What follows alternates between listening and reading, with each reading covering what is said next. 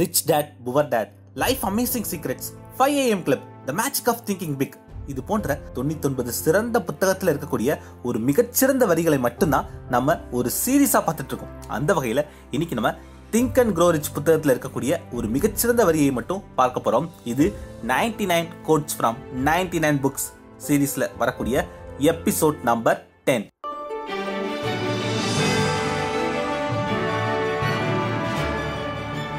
எண்ணுவதெல்லாம் உயர்வு நான் உங்கள் ஜேஆர் திங்க் அண்ட் க்ரோரிச் இது ரொம்ப ரொம்ப அருமையான புத்தகம். இந்த புத்தகம் தமிழ்ல கூட கிடைக்குதுங்க.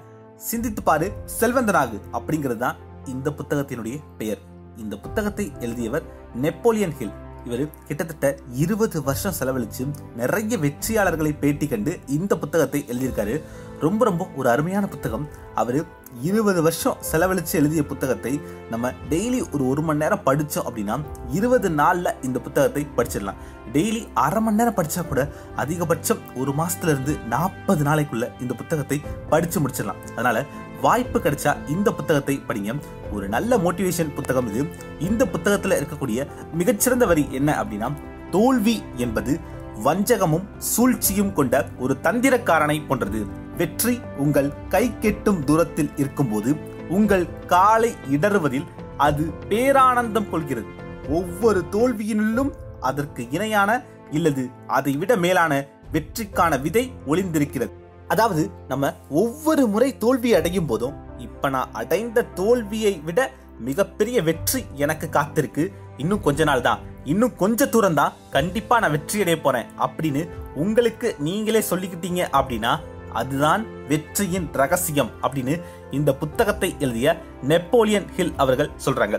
இந்த உலகத்திலேயே புத்தகம் எழுதி அதிகமாக சம்பாதிக்கக்கூடிய ஒரு பெண் யாருன்னு தெரியுமா?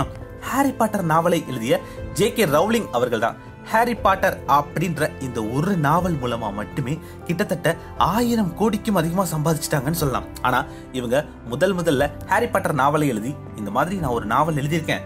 இதை உங்களுடைய பப்ளிகேஷன் மூலமா பப்ளிஷ் பண்ணுங்க அப்படின்னு சொன்னப்போ அந்த நாவலை அந்த பப்ளிகேஷன் ரிஜெக்ட் பண்ணிட்டாங்க. இந்த மாதிரி ஒன்னு இல்ல ரெண்டு இல்ல கிட்டத்தட்ட பதினோரு பப்ளிகேஷன் இவங்களுடைய நாவலை ரிஜெக்ட் பண்ணிட்டாங்க. இதெல்லாம் குப்பை. இதெல்லாம் யாரும் படிக்க மாட்டாங்க அப்படின்னு சொல்லிட்டாங்க. இருந்தாலும் ஹாரி பாட்டர் நாவலை எழுதிய ஜே கே ரவலிங் கொஞ்சம் கொஞ்சமா அந்த நாவலை மேம்படுத்தி மெருகேற்றிக்கிட்டே மறுபடியும் பன்னெண்டாவது முறை ஒரு பப்ளிகேஷனுக்கு அனுப்புனாங்க. அந்த பப்ளிகேஷன் அந்த நாவலை படிச்சுட்டு இதை ஒரு புத்தகமா பப்ளிஷ் பண்ண சம்மதிச்சாங்க.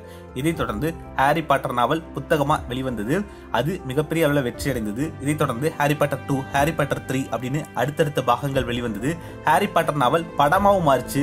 இதன் மூலம் மிகப்பெரிய தொகை அவங்களுக்கு கிடைச்சது. ஒருவேளை அவங்க மட்டும் நம்மளும் நிறைய பப்ளிகேஷனுக்கு நம்மளோட நாவலை புக்காக ரிலீஸ் பண்ண சொல்லி பர்மிஷன் கேட்டோம். ஆனால் யாருமே நம்முடைய நாவலை புக்காக ரிலீஸ் பண்ண தயாராக இல்லை. இது வீண் முயற்சி அப்படின்னு முயற்சியை கைவிடலை. தொடர்ந்து முயற்சி பண்ணிக்கிட்டே இருந்தாங்க. கடைசியில் மிகப்பெரிய வெற்றியும் அடைந்தார்கள். கேஎஃப்சி நிறுவனத்தை உருவாக்கியவர் கெலனல் சாண்டர்ஸ் அவர்கள். கென்டகில இவர் ஒரு ஹோட்டல் வச்சு நடத்திட்டு இருந்தாரு. ஆயிரத்தி தொள்ளாயிரத்தி முப்பத்தி ஐந்துகள். அந்த காலகட்டத்தில் பொதுவாவே எல்லாருமே சிக்கனை வேக வச்சு தான் சாப்பிட்டுட்டு இருந்தாங்க. ஆனா இவரு அதே சிக்கன்ல கொஞ்சம் மசாலாவை தடவி எண்ணெயில பொரிச்சு சாப்பிட்டா என்ன? அப்படின்னு ஒரு ரெசிபி மாதிரி தயார் பண்ணி அதை தன்னுடைய ஹோட்டல்ல வித்தாரு. அதன் மூலம் மிகப்பெரிய லாபத்தையும் சம்பாதிச்சாரு. ஆனால் ஆயிரத்தி தொள்ளாயிரத்தி முப்பத்தி ஒன்பதுல ரெண்டாம் உலக போர் ஆரம்பித்தது. அதனால இவருடைய ஹோட்டலை இழுத்து மூட வேண்டிய நிலை வந்தது. மிகப்பெரிய நஷ்டம். இந்த ரெண்டாம் உலக போருக்கு பிறகு மறுபடியும் ஹோட்டல் ஆரம்பிக்க இவர்கிட்ட காசு இல்லை. ஆனா இது வந்து ஒரு சக்சஸ்ஃபுல் ரெசிபி இதை மட்டும் உங்களோட ஹோட்டல் மெனுல சேர்த்துக்கிட்டீங்க அப்படின்னா உங்களுக்கு மிகப்பெரிய லாபம் காத்திருக்கு அப்படின்னு நிறைய ஹோட்டல் முதலாளி கிட்ட போயிட்டு பேசினார். ஒரு எண்ணெய் சட்டியில் சிக்கனை பொறிச்சு நிறைய ஹோட்டல் முதலாளிகளுக்கு செஞ்சு கொடுத்தாரு. ஆனாலும் யாருமே அந்த பொறிச்ச சிக்கனை தங்களோட ஹோட்டல் மெனுவில் சேர்க்க தயாராக இல்லை. அவரும் ஏகப்பட்ட ஹோட்டலுக்கு போய் அலைந்தார்.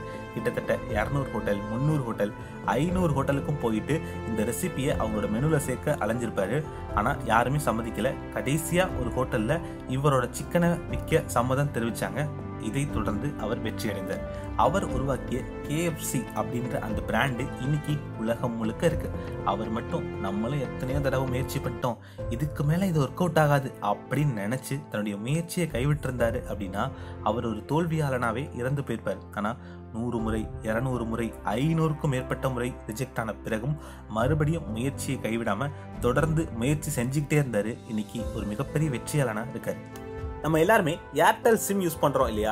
இந்த ஏர்டெல் நிறுவனத்தை உருவாக்கியவர் சுனில் மிட்டல் அவர்கள். இவர் ஆரம்ப காலகட்டத்தில் பட்டன் லேண்ட்லைன் போன்களை மட்டும்தான் விற்பனை செஞ்சுட்டு இருந்தார். அப்போ இன்னும் கொஞ்ச நாள்ல செல்போன் வரப்போகுது.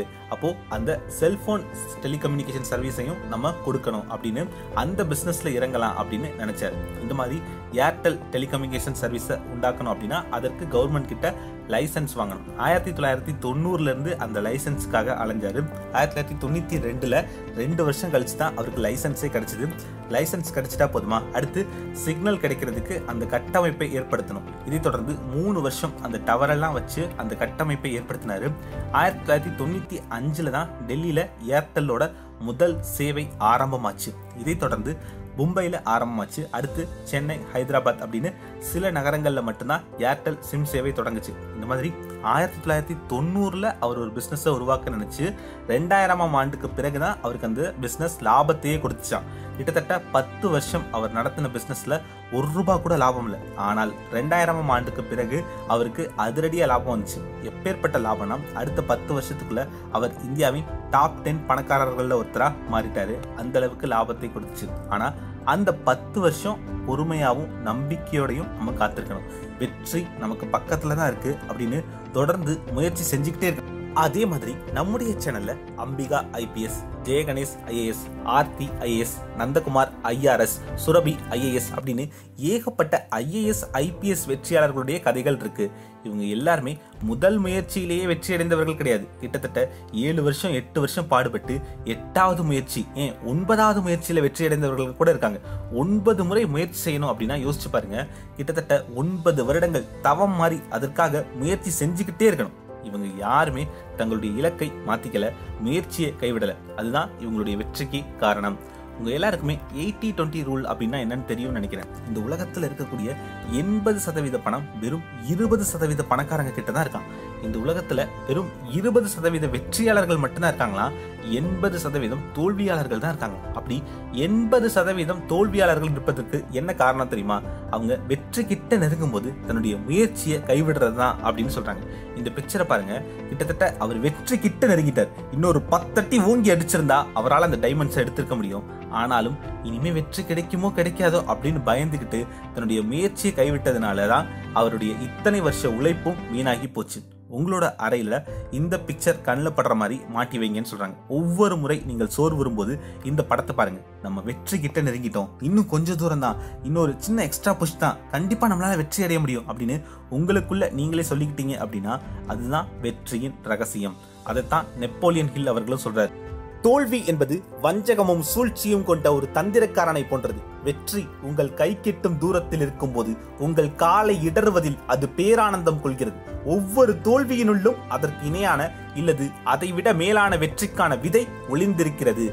நெப்போலியன் ஹில் அவர்கள் சொன்ன இந்த வரிகள் கிட்டத்தட்ட லட்சக்கணக்கான மக்களுடைய வாழ்க்கையை மாத்திருக்கு. நான் என்னுடைய துறையில இன்னைக்கு வெற்றியாளனா இருக்கேன்னா அதற்கு இந்த வரிகள் தான் காரணம் அப்படின்னு நிறைய வெற்றியாளர்கள் ஆதாரபூர்வமா சொல்லியிருக்காங்க. அப்படிப்பட்ட இந்த வரிகள் உங்களுடைய வாழ்க்கையையும் மாற்றட்டும். நீங்க தோல்வி அடையும் போது இந்த வாக்கியத்தை உங்களுக்குள்ள நீங்களே சொல்லிக்கோங்க. நம்ம வெற்றி கிட்ட நெருங்கிட்டோம் இன்னும் கொஞ்சம் தூரம் தான் அப்படின்னு சொல்லுங்க.